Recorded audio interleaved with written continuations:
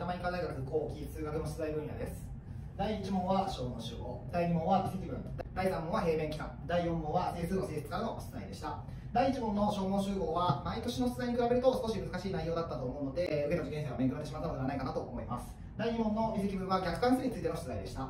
第3問の平面期間は、えー、初等期間の簡単な問題でしたので必ず点を取りたい問題です。第4問の整数の性質は埼玉医科大ではよく見られる日常生活に基づいた数学になっていて、えー、見慣れない形式でしたので気づけた生徒はよくできたと思いますができなかった生徒についてはちょっと厳しかったのかなという印象です。第2問の微積分についてポイントを少しお話します。逆関数の出題が見られました。元の関数 y=fx と逆関数 y=jx は y=x に対してグラフが対象になります。このことに気づけると第2問の微積分はよく解けたんじゃないでしょうか。